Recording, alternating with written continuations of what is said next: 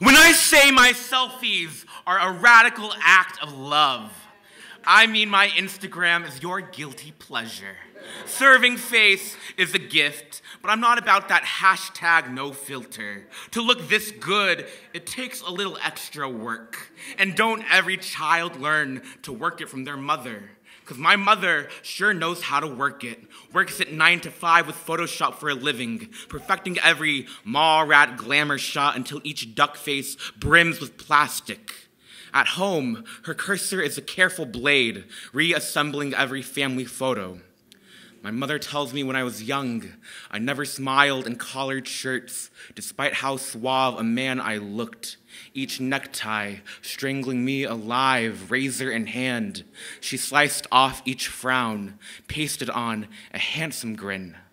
I'm a child when she guides me to her computer, teaches me this craft of transplant, says, it's so easy to undo the flaws, to color correct our skin lighter and splice the foreign from our bodies. And it's haunting to walk in your front door and every family portrait hanging on your wall is of strangers. Because my gender fucked body has only ever been picture imperfect, I've never recognized the boy in photographs. I stared myself in mirrors and only saw where scalpel's touch could improve. I loved my body only in the language of dissection. In Photoshop, I learned to rewrite my boyhood with long hair, a ruby mouth, slit eyes stretched wide, a real woman, molded from the pages of magazines. If only transitioning this flesh were so simple.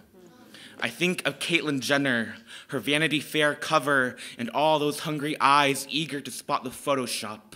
As if to say, silly boy, don't you know that real women don't have secrets tucked between their legs?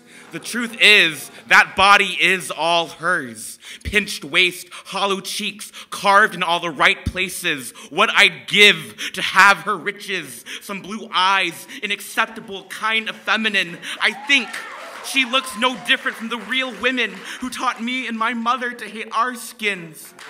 But I can't blame you, Caitlyn. I know exactly what it is to hunger for real womanhood, to make bloody murder of my mother's good skin just so someone might call me beautiful. But when a man on the street clocks me, says, Lady boy, why won't you love me long time, I think? If I'm not real, if I will never pass, then I must be fiction, must be a ghost caught on camera. And there's nothing scarier than a woman who refuses to die.